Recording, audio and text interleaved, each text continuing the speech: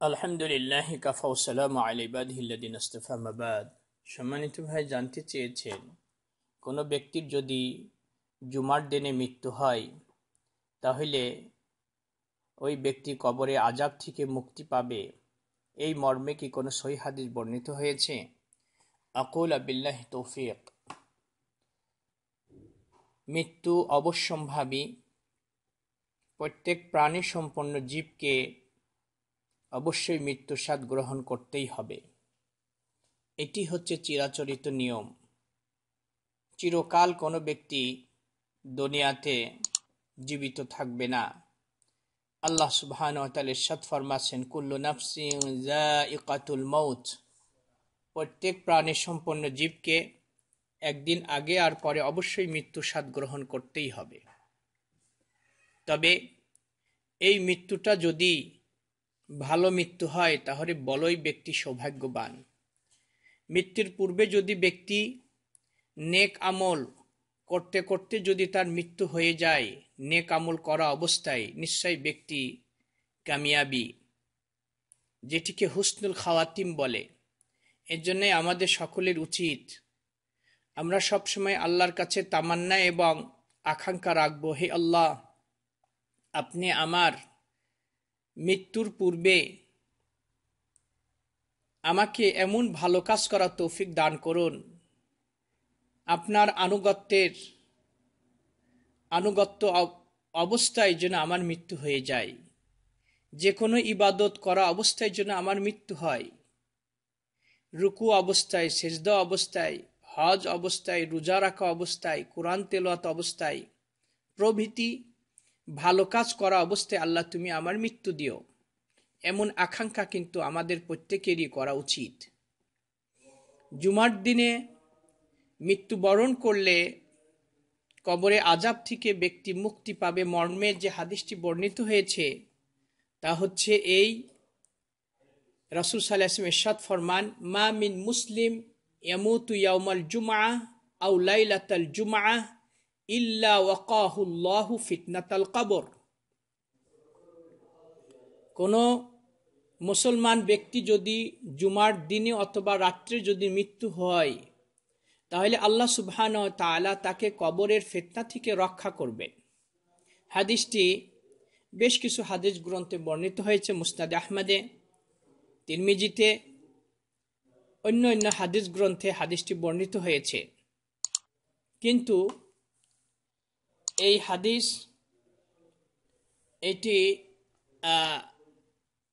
বিজ্ঞ মহাদ্দেশের কেরামদের মতে, যতটি রেওয়ায়তে হাদিসটি বর্ণিত হয়েছে, প্রত্যেকটি রেওয়ায়তের মধ্যেই দুর্বল পরিলক্ষিত হয়। অর্থাৎ, হাদিসটি অধিকাংশ মহাদ্দেশের কেরামদের মতে, হাদিসটি দুর্বল। হাদিসটি দুর্বল। স্বয়ন ইমাম তিরমিজি রাহিমহল্লা তিনি উল্লেখ করেছেন, হাজা হাদিসুন গরিব। এই হাদিসটি হচ্ছে গরিব। এই হাদিসের মধ্যে একজন রাবি রয়েছে, ইবনু জুরাইজ। এই ইবনু জুরাইজ, ইনি হচ্ছে মুদাল্লেস রাবি।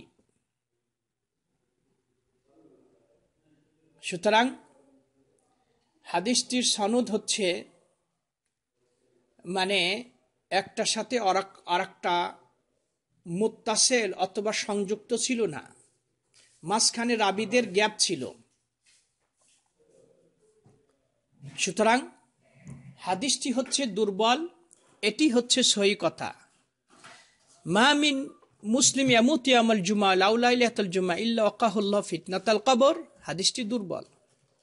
তবে জুমার দিন, ফজিলতপূর্ণ দিন, এই দিনে ব্যক্তি মৃত্যুবরণ করলে হয়তোবা আল্লাহ সুবহান তালা তাকে কবরে আজাব থেকে রক্ষা করবেন। কিন্তু এই মর্মে যে হাদিসটি বর্ণিত হয়েছে, হাদিসটি সহি না। ফজিলতপূর্ণ দিন হিসাবে আল্লাহ হয়তোবা এর ওসিলায় তাকে কবর আজাব থেকে রক্ষা করতে পারেন। কিন্তু বুখারি শরীফে হাদিসে এসেছে যে রাসুল সাল্লাহ সাল্লাম যে সোমবারের দিন মৃত্যু হয়েছিল, এই সোমবারের মৃত্যুটা কিন্তু ইমাম বুখারি রাহিমাহুল্লাহ তদীয় গ্রন্থে, বুখারি শরীফে কিন্তু এই সোমবারের মৃত্যুটাকে তিনি ভালো মৃত্যু হিসাবে উল্লেখ করেছেন। এই জন্যই তিনি একটি অনুচ্ছেদ নির্ণয় করেছেন, বাবু মৌতি অমল ইসনাইন। সোমবারের দিন মৃত্যুর সংক্রান্তে তিনি একটি তার বুখারি শরীফে অনুচ্ছেদই তিনি উল্লেখ করেছেন। সেইখানে তিনি বুখারি শরীফে হাদিস উল্লেখ করেছেন আয়সা সিদ্দিকার আদাল্লাহ তার আনহা থেকে বর্ণিত। আয়সা বলেন, আমার পিতা আবু বাক্কার মৃত্যু সজ্জায় শায়িত ছিলেন। ওই অবস্থায় আমি আমার পিতার নিকটে প্রবেশ করলাম। অতপর আমার পিতা আমাকে জিজ্ঞেস করলেন, ফি কাম কাফান্তুম আর নবী সাল্লাহ আলী সাল্লাম কয়টি কাফুরের দ্বারা তোমরা রাসুল সাল্লাহ সাল্লামকে কাফনের কাফুর পরিয়েছিলে? কয়টি কাফুর দিয়ে রাসুলকে কাফন করা হয়েছিল? কাফনের কাফুর পরানো হয়েছিল? কলাত ফি সালাসাতি আসওয়াব। তিনটি কাফুরে রাসুল সাল্লাহ সাল্লামকে তিনটি কাফুর দ্বারা কাফন করা হয়েছিল। এরপর আয়সা বললেন কল আলাহা ফি আইমিন তুফিয়া রাসুল সাল্লাহ সাল্লাম? আবু বাকর আয়সাকে জিজ্ঞেস করলেন আয়সা রাসুল সাল্লাহ সাল্লামের মৃত্যু কোন দিন হয়েছিল? কলাত ইয়ামাল ইসনাইন। আয়সা বললেন, রাসুলের মৃত্যু হয়েছিল সোমবারের দিন। কল ফাইয়ু ইয়মিন হাজা এরপর আউ বাকার আয়সাকে জিজ্ঞেস করলেন আয়সা আজকে কোন দিন? কলাত ইয়মুল ইসনাইন। আয়সা বললেন যে, আজকে হচ্ছে সোমবার। এবার আবু বাক্কার এই সোমবারের দিন যাতে তার মৃত্যু হয়, এই জন্য আল্লাহর কাছে আশা পোষণ করেছিলেন। বলেছিলেন, আরজু ফিমা বেইনি ও বাইনাল্লাইলা বাইনাল্লাইল তাহলে আমি আশা করছি যে আমার এবং আমার মৃত্যুর মাঝে সময় হচ্ছে শুধু এই রাত্রেই। এরপর তিনি যে পোশাক পরেছিলেন, এই পোশাকের দিকে দৃষ্টিপাত করে বললেন যে, আমাকে তোমরা আমার এই পোশাকেই গোসল করবা এবং অতিরিক্ত আর তোমরা দুইটি, যেই কাপড়টা আমি পরে আছি, এই কাপড়ের সাথে আর দুইটি কাপড় তোমরা সংযোজন করবা। ফাকাফিনু নি ফিহা এই তিনটি কাপড়েই তোমরা আমাকে কাফন পরাবা। যেটি পরে আছে এইটা, বাকি দুটো কাপড় তখন আয়সা বললেন, ইন্না হাজা খালিক। এটি তো দুর্বল কাপড় পুরান হয়ে গেছে। যে কাপড়টা আপনি পরে আছেন, এটি পুরান কাপড় কলা ইন্নাল হাই আহাক্কু বিল জাদিদ মিনাল মেয়েত বললেন আমি মৃত্যুবরণ করছি, আমি মারা যাব, সুতরাং এই মৃত্যু ব্যক্তিকে এত সাজগোজ করে নতুন পোশাক পরানোর কি প্রয়োজন? আয়সা জেনে রাখো, নিশ্চয় মৃত্যু ব্যক্তির থেকে যারা জীবিত আছে, তারাই হচ্ছে নতুন কাপড় পরার বেশি হকদার। এরপর তিনি সোমবারের দিনই মৃত্যুবরণ করেছিলেন। তাহলে সোমবারের দিনের মৃত্যুবরণ করা এইটি ইবনেহা ইমাম বুখারি রাহিমাহুল্লাহ, তিনি এই দিনে মৃত্যুবরণ করা উত্তম বলে তিনি উল্লেখ করেছেন। সুতরাং ব্যক্তি জুমার দিনে মৃত্যুবরণ করলে কবরে আজাব থেকে ব্যক্তি রক্ষা পাবে মর্মে যে হাদিসটি বর্ণিত হয়েছে, হাদিসটি সহি না। যেহেতু সহি না, সেহেতু নিশ্চিতভাবে আমরা এটা বলব না যে জুমারদের মৃত্যুবরণ করলেই ব্যক্তি কবরে আজাব থেকে রক্ষা পাবে। কেউ কেউ হাদিসটি সহি বলে অভিমত ব্যক্ত করেছেন।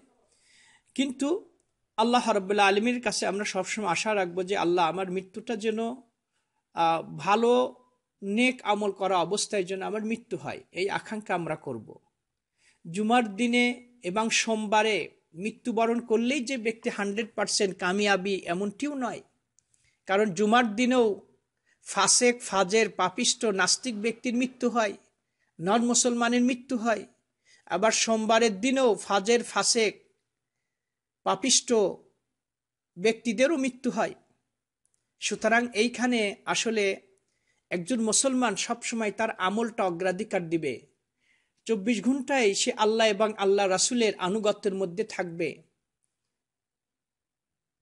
এটি হচ্ছে ব্যক্তিকে কবরে আজাব থেকে রক্ষা করবে জাহান নামে আজুক থেকে রক্ষা করবে, জান্নাতে প্রবেশ করতে সহায়ক হবে, নেক আমল। আল্লাহ হরবুল্লা আলমিনের কাছে আমরা আশা রাখব আল্লাহর জন্য আমাদের এই জীবনের শেষ আমলটা যেন সুন্দর হয়। আল্লাহর আনুগত্য অবস্থায় যেন আমাদের মৃত্যু হয় এই তৌফিক আল্লাহ আমাদেরকে দান করুন।